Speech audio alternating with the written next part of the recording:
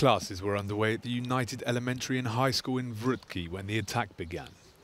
Witnesses say the man burst through the entrance and was confronted by the deputy head teacher as he made his way along a corridor. The assailant reportedly stabbed the teacher before moving on to others. Out of nowhere, the attacker came to the school, broke the glass entrance, entered, where he was blocked by the deputy headmaster, who was then fatally injured. Then the attacker ran into the closest classroom, where he attacked a teacher and two children. After this, he tried to escape from the scene.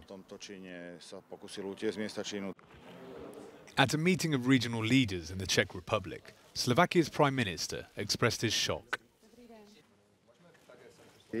I'm really sorry for what happened and I am sending my deepest condolences to the families. Unfortunately, there are crazy people living among us and we cannot prevent such atrocities from happening.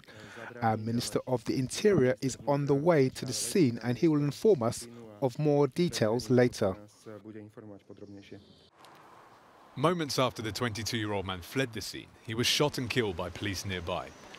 He had been a pupil at the school, but investigators say they don't yet know why he launched his attack. Christopher Pitchers, Euronews.